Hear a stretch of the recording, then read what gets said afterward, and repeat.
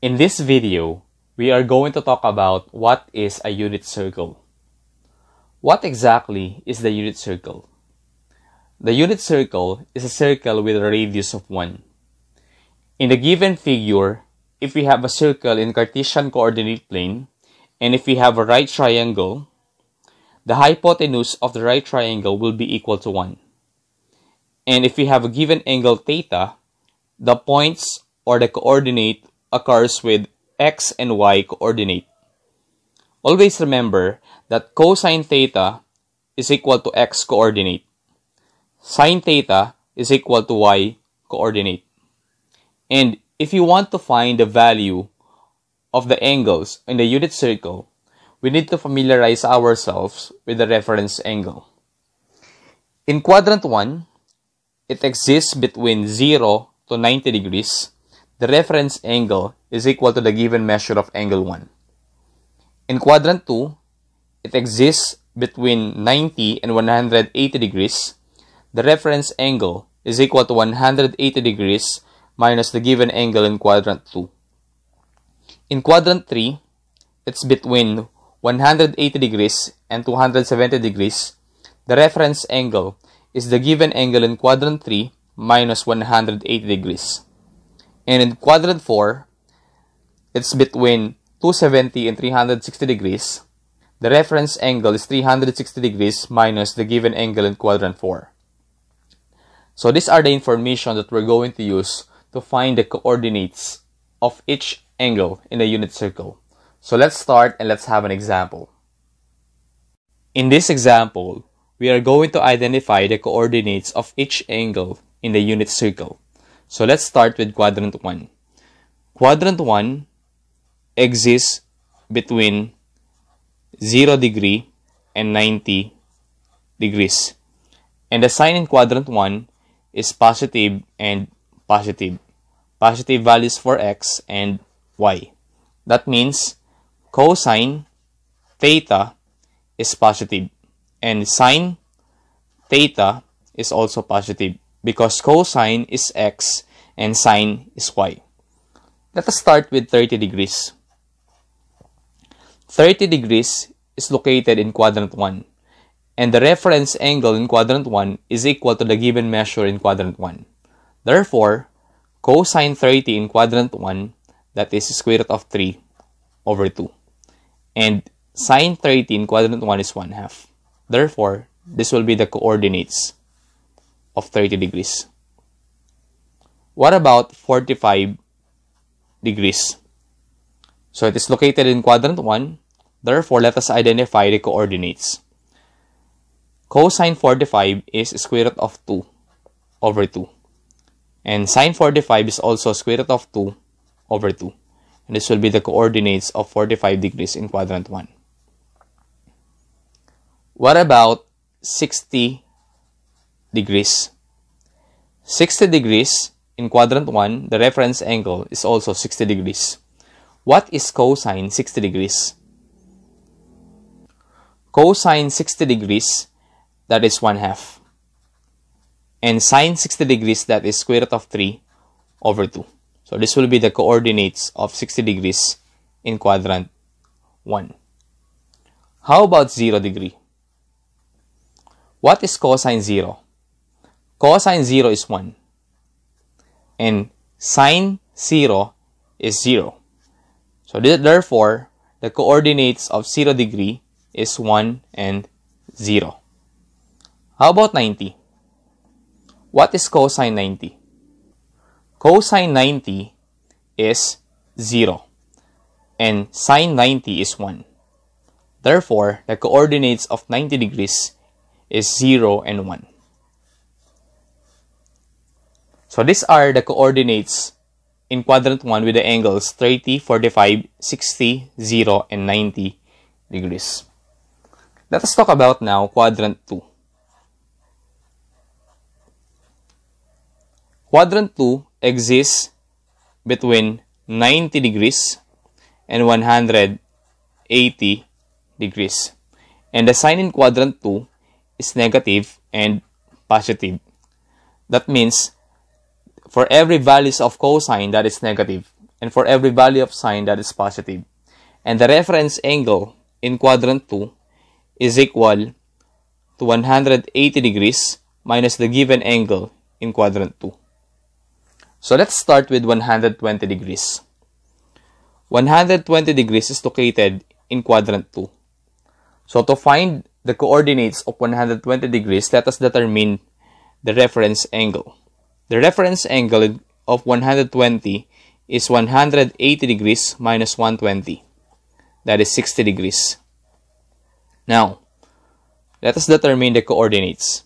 What is cosine 60 in quadrant 2? Cosine 60 in quadrant 2, that is negative 1 half.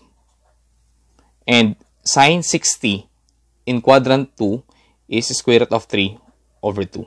So this will be the coordinates of 120 degrees. How about 135 degrees? The reference angle is 180 minus 135 degrees. 180 minus 135 degrees is 45 degrees. Now, the coordinates are cosine 45 in quadrant 2 is negative square root of 2 over 2. And sine 45 in quadrant 2 is square root of 2 over 2, but the sign is positive. So this will be the coordinates of 135 degrees. How about 150 degrees? The reference angle is 180 minus 150. That's 30. Therefore, the coordinates of 150 degrees is cosine 30 in quadrant 2 that is negative square root of 3 over 2. And sine 30 degrees in quadrant 2 that's 1 half. So this will be the coordinates of 150 degrees. How about 180? What are the coordinates of 180 degrees? To find the coordinates of 180 degrees, let us determine the reference angle. The reference angle is 180 degrees minus the given measure, which is 180. That means the reference angle of 180 is 0 degree. Now, to find the coordinates, what is cosine 0? Cosine 0 in quadrant 2 is negative 1. And sine 0 in quadrant 2 is 0. Therefore, this will be the coordinates of 180 degrees. Now, let us talk about the measures of angles in quadrant 3. Quadrant 3 exists between 180 degrees and 270 degrees. And the sign in quadrant 3 is negative and negative. That means the value of sine cosine in quadrant 3 is both negative. The reference angle in quadrant 3 is the given measure of angle in quadrant 3 minus 180 degrees. So let's start with 210 degrees. 210 degrees is located in quadrant 3. To find the coordinates of 210 degrees, let us determine first the reference angle. The reference angle is equal to 210 degrees minus 180 degrees. 210 minus 180, that is 30 degrees. Therefore, the coordinates of 210 degrees is cosine 30 in quadrant 3, that is negative square root of 3 over 2, and sine 30 in quadrant 3 is negative 1 half. So this will be the coordinates of 210 degrees in quadrant 3. What about 225 degrees? The reference angle is 225 degrees minus 180 degrees, and that's 45 degrees. Therefore, the coordinates of 225 degrees is cosine 45, that is negative square root of 2 over 2, and sine 45 is also negative square root of 2 over 2. So this will be the coordinates of 225 degrees. How about 240 degrees? The reference angle of 240 degrees is 240 degrees minus 180 degrees, and that's 60 degrees. Now, what is cosine 60 in quadrant 3? That is negative 1 half. And sine 60 in quadrant 3, that is negative square root of 3 over 2. So this will be the answer. What about 270? What are the coordinates of 270 degrees? So to find the coordinates of 270 degrees, let us determine the reference angle. Reference angle is 270 degrees minus 180 degrees and that's is that is 90 degrees. What is cosine 90 degrees? Cosine 90 degrees in quadrant 3 that is 0. And sine 90 degrees in quadrant 3 that is negative 1. So this will be the coordinates of 270 degrees. Now, let us talk about quadrant 4. Quadrant 4 exists between 270 degrees and 360 degrees.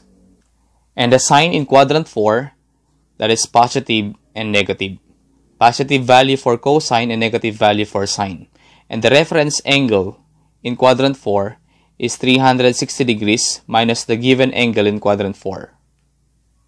Now, let us talk about 300 degrees.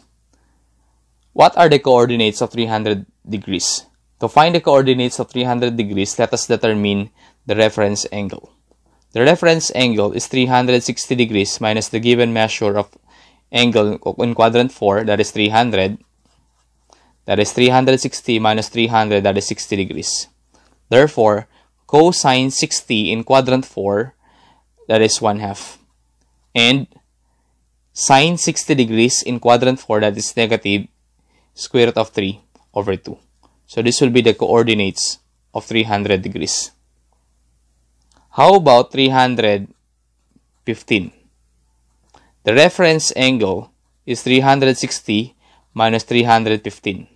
That is 45 degrees. And cosine 45 in quadrant 4 is square root of 2 over 2. And sine 45 in quadrant 4 is negative square root of 2 over 2. So this will be the coordinates. What about 330 degrees? The reference angle is 360 minus 330 degrees. And that is 30 degrees. And cosine 30 in quadrant 4, that is square root of 3 over 2. And sine 30 degrees in quadrant 4 is negative 1 half. So this will be the coordinates of 330 degrees. How about 360 degrees? What are the coordinates of 330 degrees?